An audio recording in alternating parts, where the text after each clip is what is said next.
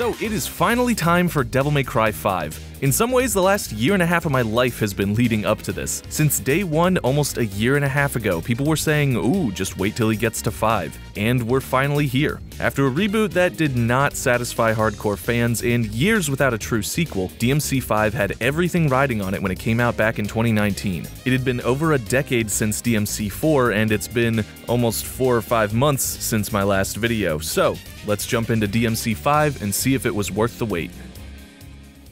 Our story begins in medias res. That's the fancy word for you don't know what's going on yet, because starting a story in the middle is cool. With Dante, a newly one armed Nero, and emo Stranger Things fighting Throne Xemnas from Kingdom Hearts 2. Dante gets yeeted away into a coma for the next month, and we go back to see how Nero lost his arm.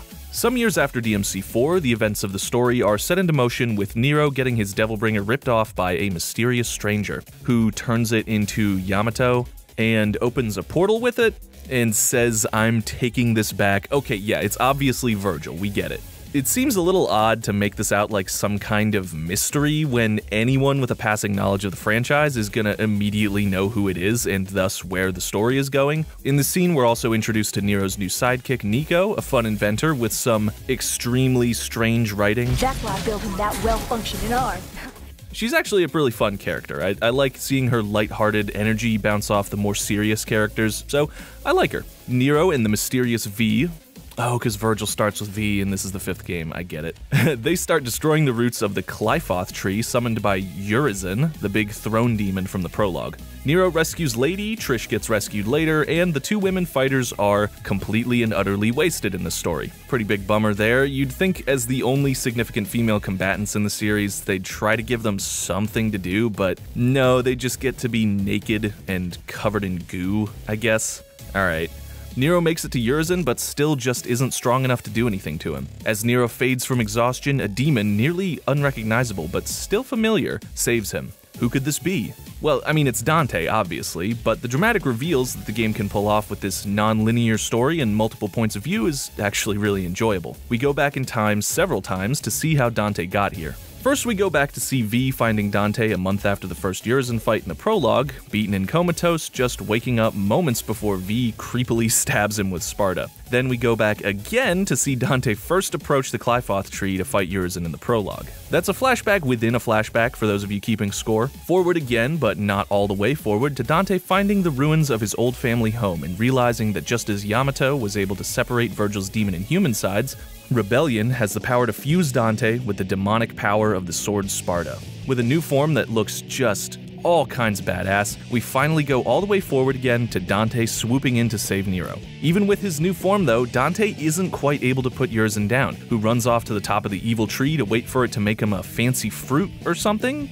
I guess that's what the tree does. The gang is finally all together, and from here you basically just play as all three characters, making their way to the final fight with Urizen atop the Qliphoth tree. Also, Dante gets a cool hat. Does this cutscene remind anyone else of like an old source filmmaker dance video or something? It's something about the lighting. It's bizarre and I kinda love it. After another fight with Urizen, the coolest fusion scene of all time happens, and Vergil is reborn. Fusion! As obvious as it was that this moment was coming, it's still extremely effective.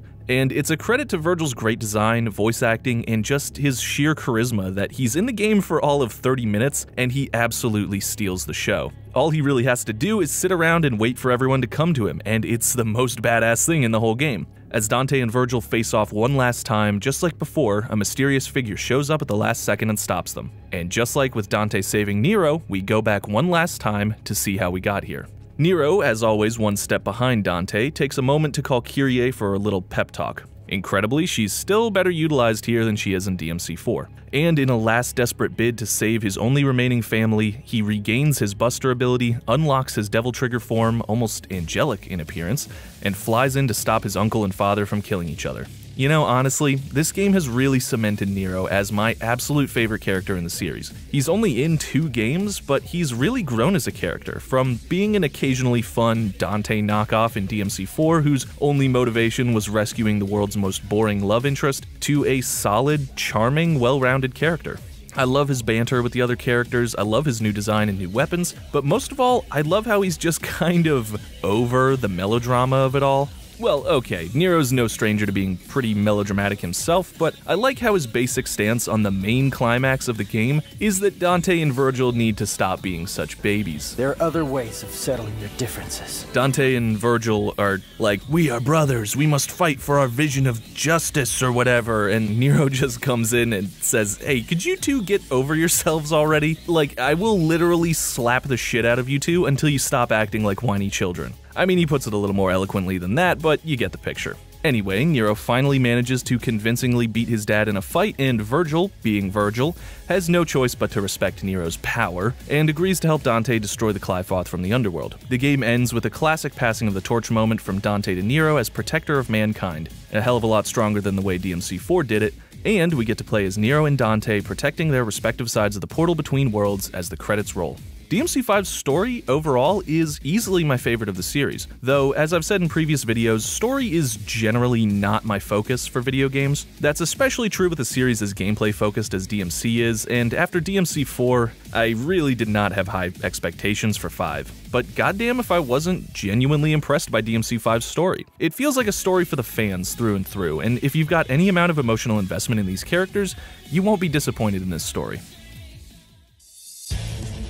So this is by far the biggest Devil May Cry game ever made, and there's been a surprising number of changes to the basic DMC formula in this game. So let's go through some of those before we get to the character specific stuff. The fully unified world of the previous games is gone, now each mission takes place in a completely disconnected area. Some people might be disappointed by this, but the trade off is that the devs now have a lot more freedom in how they structure their story. All previous games, well, all previous decent games in the series, necessitated a straightforward linear story that all took place mostly in one location or a handful of nearby locations. DMC4 is by far the biggest victim of this rigid story structure. All the locations had to flow easily into the next since they wanted a single unified game world, but we didn't have time to give Dante his own part of the world, so I guess he'll just have to do Nero's backwards. Yikes. DMC5 says screw all of that, any mission can take place anywhere in our world with any character in our story at any point in time. And the levels are still open enough for some exploration to find hidden missions, collectibles, and alternate paths. But there's no more backtracking, thank God the sprawling, intricate, connected world of DMC 1 and 3 is gone, but in its place we've got a sprawling, intricate plot with storylines and characters crossing over one another, flashbacks and flash forwards with different characters, and it's easily the most interesting plot in the whole series for me. Absolutely a worthwhile trade, and honestly, one I wish the series had made sooner. Well, I mean, it did in the reboot, but I think if I praise that game any more than I already have, the DMC secret police are gonna come take me away to Mallet Island or something. Items have gotten quite a bit of a revamp. I like some of the changes, others not so much. Removing healing items, completely fine. Letting you revive with either gold orbs or red orbs, awesome. Giving you a million gold orbs just for logging in and playing normally, not as big a fan of this. At some points, I had upwards of 30 gold orbs just sitting in my inventory, just waiting to help me cheap out at any point on DMD. I generally tried to restrict myself to only using them if I was really close to beating a boss or just anytime as V, because those levels started to take long enough without a bunch of restarts. But as those D ranks in my total rankings will reveal, there were times where I just got frustrated and used a bunch of gold orbs to tank my way through a level. I'm not proud of that, but I'd rather be upfront and admit it than try to hide it, and this channel was never going to be Donguri 2 anyway, so whatever. To that point, I think Son of Sparta, or Hard, is basically the perfect difficulty for DMC5, at least for me and where I'm at in terms of skill and dedication to this game. DMD is fun, but it ends up feeling more like a chore at times since enemies have so much more health. I don't mind how much damage they do, that's fine, it's supposed to be hard. But I just got kind of bored on some of the simpler fights that I could survive pretty easily, but they just took a really long ass time. I originally was going to record my DMD playthrough for this video, but it was just taking too damn long. So the early missions in this footage are on DMD, but after mission 10 I switched back to Son of Sparta just to save myself some hard drive space recording all this footage. Real impact spam starts to look very appealing when you're staring down the barrel of some of these HP bars, and you can't afford more hard drive space to save all the damn footage, and don't even get me started yet on V's levels. Though the improved enemy design still makes these more enjoyable than most levels in DMC4. Yeah, it's no secret that enemy design in previous Devil May Cry games has been a little up and down. One had Death Scissors, two is two, we can leave it at that. Three had Soul Eaters, Enigmas, The Fallen, Dullahans, all super annoying to fight, and four 4, it's like they were trying to see how hard they could ruin a good combat system with shitty, aggravating enemies. It would be faster to list the enemies in DMC4 that don't have some kind of frustrating way to ruin your combos, make approaching them impossible, or hide away and be nearly impossible to damage effectively. And this is doubly true when playing as Dante. But 5, the enemies in 5 are fantastic. Finally, Every enemy has tells that are clear and readable. Every enemy can be comboed, and they don't feel like damage sponges either. No enemy requires one particular weapon or strategy to beat, like the Chimeras in 4 or Blood Goyles in 3, forcing you to only use guns. Every enemy has patterns to learn and read, weaknesses and openings to exploit, and for once, there aren't any that feel deliberately designed to be frustrating. An enemy being hard to beat isn't necessarily frustrating. Frustrating is an enemy that hides in the walls and is practically immune to half your weapons. Frustrating is an enemy that pops out of the ground constantly just to undo your progress if a single pixel comes into contact with it. That's the kind of enemy design that held 3 and 4 back from being masterpieces. Now, does this alone make 5 a masterpiece? Well, yeah, kind of. Even the most contentious new enemy, I think, is actually perfectly fine. The Fury is the new Blitz replacement, a fast, tanky demon that forces you to fight on its terms by frequently becoming intangible and hitting incredibly hard. I actually enjoy Fury fights a whole lot more than I ever enjoyed any Blitz fights in DMC4, and that's partially thanks to the changes they made to Dante, specifically with Royal Guard, but more on that later. And their attacks are just telegraphed enough to be fun to time and block, since you can see what they're doing as they're winding up. Unlike the Blitz, which just turned into a massive particle effects before attacking, I got a lot of comments hyping up the Fury as some kind of anger inducing noob killer enemy on the level of the Blitz, but it's really not even close to that bad. The Fury is a little tough, but I wouldn't call it a bad enemy by any means. Special mention also definitely has to be given to DMC5's bosses. Previous games in the series always had their problems with boss design. There were good ones and plenty of them, but you'd be hard pressed to argue that there wasn't at least a handful of stinkers in every game. One has the repeated blob on the floor fight, two has only terrible boss fights, three has uninspired bosses like Gigapede, Geryon, and the infamously terrible Arkham fight, and four might take home the gold medal of shit boss fights with the Savior. But out of the around 14 total boss fights in DMC 5, I can't think of a single one that I don't genuinely enjoy every time. The big gorilla demon, every Urizen fight, the chicken lady, the fucking motorcycle dude, all fantastic fights. And the best part is no minigame bosses. You know how so many games like to have boss fights whose mechanics feel completely detached from the rest of combat? DMC5 has none of that, except arguably Gilgamesh, who's really more of a platforming challenge than a normal fight. But still, DMC5's bosses all feel rooted in the standard combat mechanics of the game, and so they feel more like massively powerful normal enemies, instead of minigame boss fights, which have a tendency to feel more like scripted segments where if you play the little game the boss does, you'll be able to wail on their weak spot for a few seconds. Boring.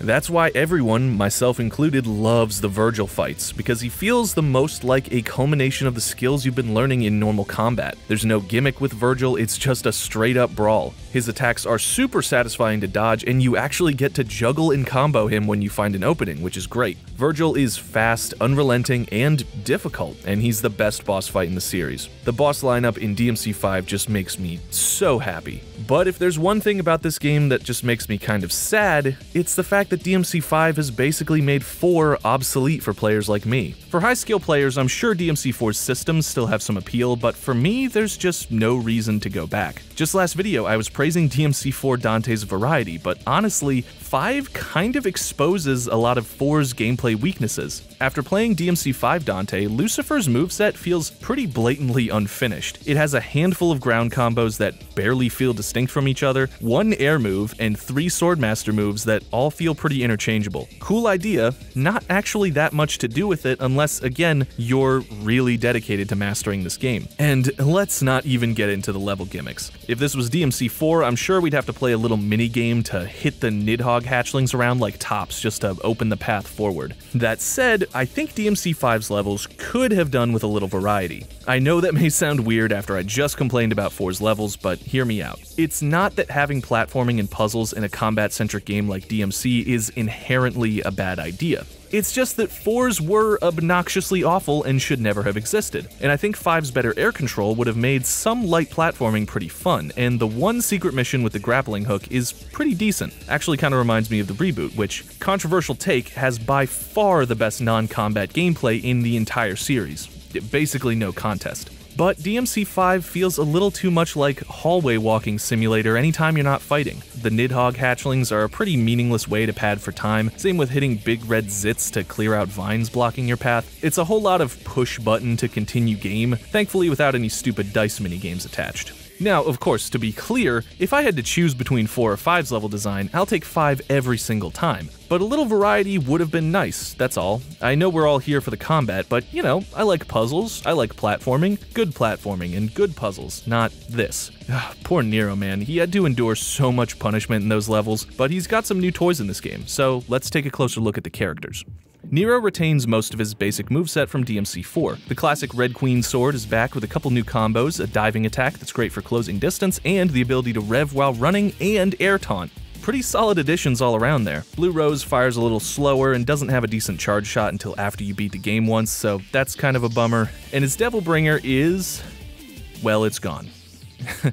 Not gonna lie, it's a pretty big disappointment for Nero to be without his most iconic weapon. Instead, Nero now has a sweet robot arm that can do rocket punches, whips, energy beams, and Zawardo. Okay, uh, never mind, I'm not disappointed anymore. This is actually pretty awesome. The Devil Breaker system is Nero's big new selling point, and it's a pretty damn good one. It's hard not to miss the powerful and brutal busters, not to mention his Devil Trigger, but the sheer variety on display here is pretty impressive. I won't go through all of them since there's 8 Devil Breakers, each with at least 2 moves, but but they're real fun to use. The one that shoots a rocket punch and lets you fly around on it like a skateboard is a particular favorite of mine. My one and only gripe here is Nero's attack effects. His character animation is great as always, but with the more realistic style, a lot of the effects that were there in DMC4 to give his moves a little extra punch are gone, and a few of his busters look straight up terrible. Nero, you can throw monsters three times your size around like they're filled with helium. Why are you gingerly lifting this knight and doing a weak looking power slam? His attack effects that used to look big and powerful in anime as hell are replaced with this really underwhelming distortion effect. Streak and Caliber are by far the biggest victims of this. They just look so weak now. Sound effects were way crunchier in 4 as well. Now Streak is just a little basic sword swipe sound effect when it used to sound way more powerful. The fire effects on his EX moves I think are up to personal preference, but I miss the red trail, and I think the old fire effects honestly kinda looked better. That's just me though. And this really is a minor gripe because Nero has so many moves and the majority of them look just as good as DMC4 or better. Charge shots, busters, devil breakers, they mostly look and feel great. It's just some of the basic moves that I think could have used a little more visual flair. Then again, this game's visuals are already incredibly busy, so maybe they just felt that some of the old attack effects got in the way of readability or clashed too much with the new realistic aesthetic. I did he just try to put a demon's freaky monster limb into an armbar? Uh, did he just do a spinning vertical suplex on that dude? Okay, never mind. Nero's attack animations are perfect. Nero for WrestleMania 37. Nero also has my favorite story moment in the series, when he unlocks his true Devil Trigger. This moment is great because it does something that I felt the other games tried to do, but didn't deliver on all that successfully. This moment ties the gameplay and story together. For your entire first playthrough the game, you are really going to feel the absence of Nero's DT and Buster. Seeing this big triumphant display of power and will in the story, and combining that with the gameplay experience of getting to play as Nero at his full potential again with all the tools you missed from DMC4 is a really great moment because it's happening to you while it's also happening to the character. Yeah, there were times in previous DMC games that tried storytelling through gameplay like this. In DMC3, I got my ass handed to me by the first Vergil fight over and over the first time I played it, which really made him seem like an opponent I just wasn't ready for, mirroring Dante's own loss at the end of that fight. And in DMC2, I felt the utter boredom on Dante's face at all times throughout the game. Yeah, easy target, I know. But this moment in DMC5 really genuinely delivered, and after feeling like Nero was just kind of incomplete for the entire first playthrough, finally getting back his Devil Trigger and Buster felt so good, and it made me excited to immediately start a new playthrough on Son of Sparta. Part of me misses Nero's stand, but I love the angel wings. Not only are they wings, claws, and fists, but their angelic look makes for a great contrast with Dante and Vergil's new, more demonic Sin Devil triggers. I was really not sure if I was going to get to keep DT and Buster for a new playthrough. It was such a pivotal story moment that I was genuinely afraid that I wasn't going to get to use them outside that fight in the story. But when I started up Son of Sparta and started bustering enemies, firing off massive charge shots, experimenting with his new DT, and still getting to use all of his Devil Breakers, that's when I was sold. DMC5 is the best DMC game, and this is my favorite character. So next up we have V. It's probably not controversial to say that V is my least favorite character to play as in DMC5. The idea behind him is really interesting, story wise and gameplay wise. His physically fragile body represents Vergil's hate for his weak human side, and he uses demon familiars all based on enemies from DMC1 when he was trapped as Nello Angelo. Thematically, this is great. As an idea for a character, it's really, really cool. Seeing your character sit on the sidelines, menacingly reading poetry as his minions tear enemies apart with claws, lightning bolts, and lasers is a great idea. Goth Kid evil mastermind by way of Pokemon. Uh, I mean, I'm down with that in theory. It's just that in execution, I'm not as enthusiastic. V is a ranged fighter who needs his familiars to basically do everything for him except finishing off enemies. X and Y control Griffon and Shadow respectively, and you can spend DT to let them automatically fight for you, in case you weren't already bored enough standing there mashing buttons. You can also use your DT to summon Nightmare, who I didn't recognize as the blob on the floor monster at first, but I guess that makes sense now. Nightmare's the only one that will fight automatically without you doing anything, which is pretty cool. Um, you can also jump on his back and do certain things to make him shoot lasers. That's always fun. Their attacks can be modified with the same stick positions that the other characters use, but a lot of their moves have really long windups, and it feels pretty strange to do these inputs and not immediately see the move come out. This leaves V feeling pretty clunky, which might be intentional, but really he's just not super exciting to play as. Again, he's a cool idea, but the problem is that his moveset feels really lacking compared to Nero and Dante, and there's a lot less room for stylish skill expression with him. Also, you know, it's the same kind of thing that made me not care for playing as Lady in DMC4 SE. A ranged playstyle doesn't really appeal to me in a game like this, and I don't think I'm in the minority in that. But in general, I thought V's levels were kinda boring, but mostly inoffensive. That is until I got to my DMD playthrough. DMD difficulty is what really made me dread V's missions. Obviously, enemies do a lot more damage and have a lot more health in DMD, which is fine when you've got Nero and Dante's great movement, gap closing, and comboing ability. When you're stuck playing as V, every single enemy feels like a battle of attrition. They just have so much health. This would be one thing if V had fun combos, but he really doesn't, at least not without sitting around labbing out specific sequences all day, which I absolutely have no interest in doing with him. And even then, I'm not sure that any fancy combos on V would be any more efficient at dealing damage than just spamming Nightmare's big laser. His levels are boring on Son of Sparta and they're a chore on DMD, and I've never even bothered to take him into Bloody Palace. Maybe there's some deep mechanics to master with him, but he's really just not fun enough on a base level to make me want to put any time at all into him. So let's just move on.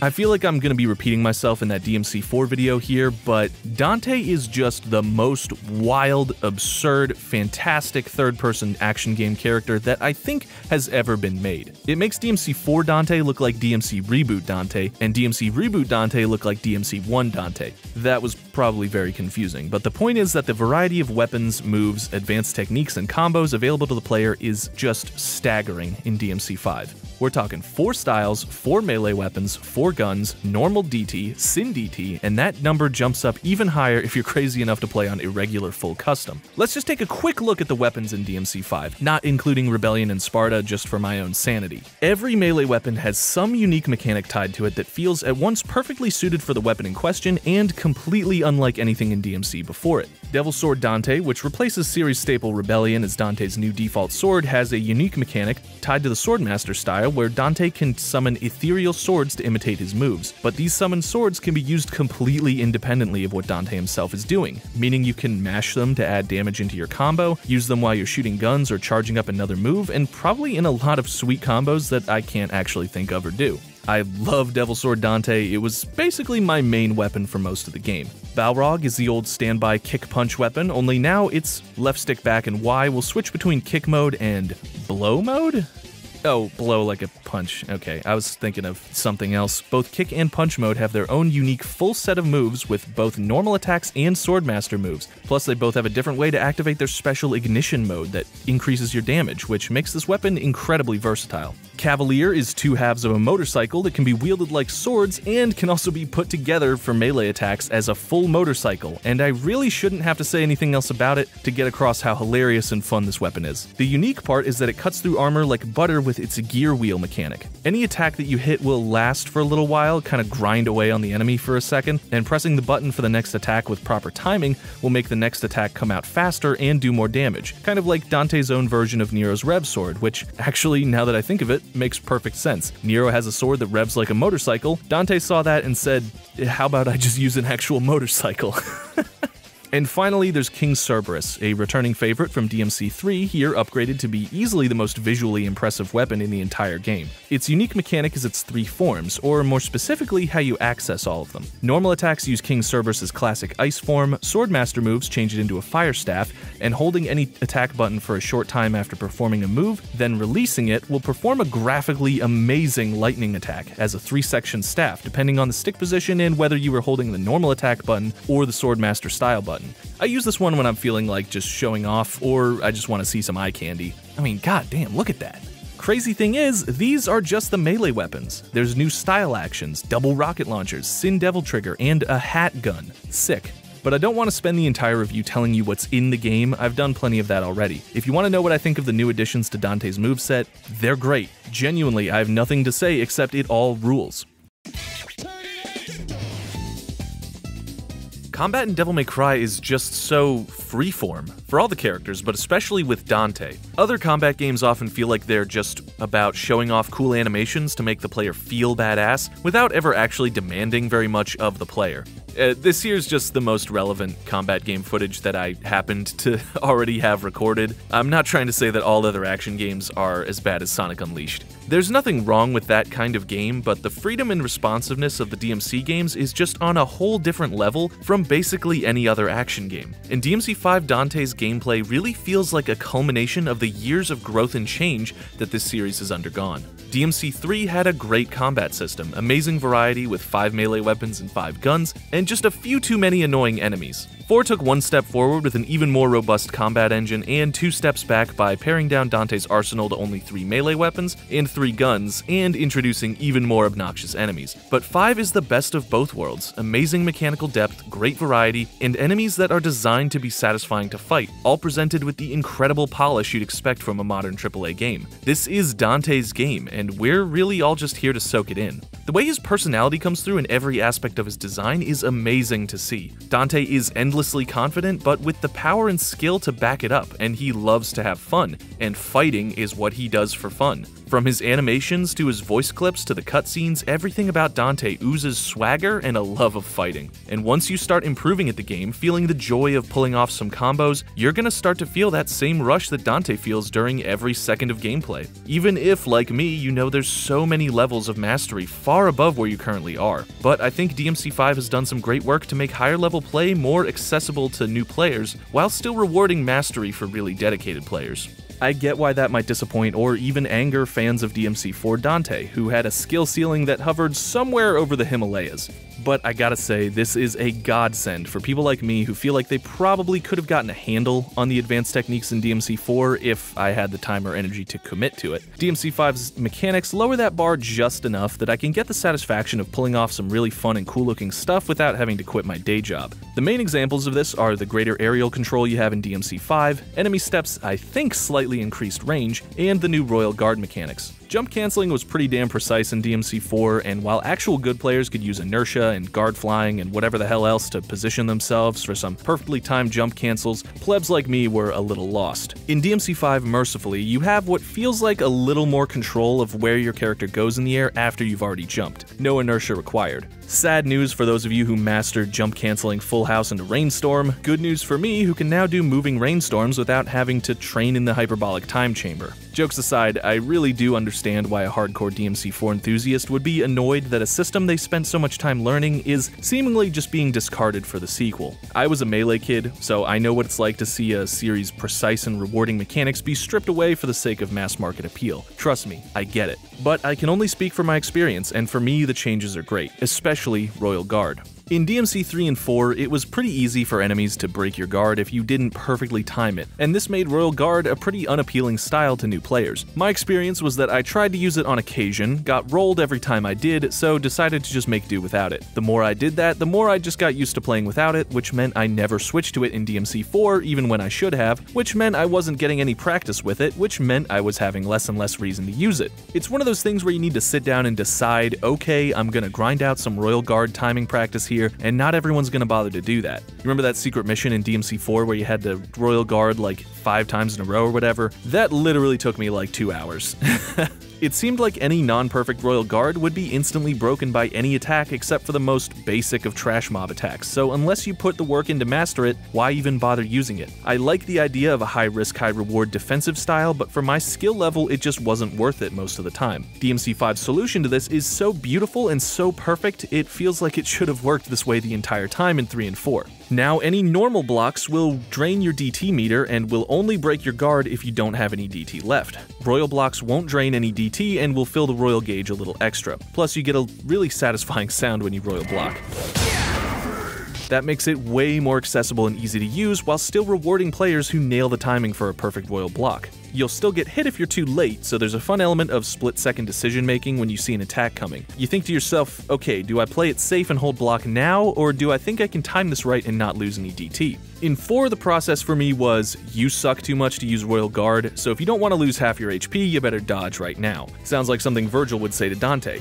Which brings us to Vergil, who came out fairly recently on PC as a $5 DLC. Pretty fair price there, I'd say, and it sure beats buying the special edition on a console for 40 bucks when we all know damn well that Vergil is like 90% of the reason anyone is buying it. He plays pretty similar to how he did in DMC 4, same three weapons, same concentration meter, same free teleport cancel out of basically everything shenanigans. Now he's got Doppelganger, which is pretty cool, and some new super screen clearing moves, but overall I just don't have that much to say about him. Like with DMC 4, he's pretty damn broken, but you know, sometimes that's what you want, to just hit some buttons and see some cool shit. I mean, there's nothing wrong with that. And it's not like there isn't some serious mechanical depth to Vergil, there absolutely is. I can't even imagine what wild stuff you could do with Doppelganger mimicking your moves and being able to change on the fly how long the delay is between your moves and his. There's gotta be some impressive stuff you can do there. I'm sure plenty of people on YouTube who are way better at these games than I am have already done awesome stuff. It's just that I'm about 100 hours of practice away from actually pulling off any cool combos with him.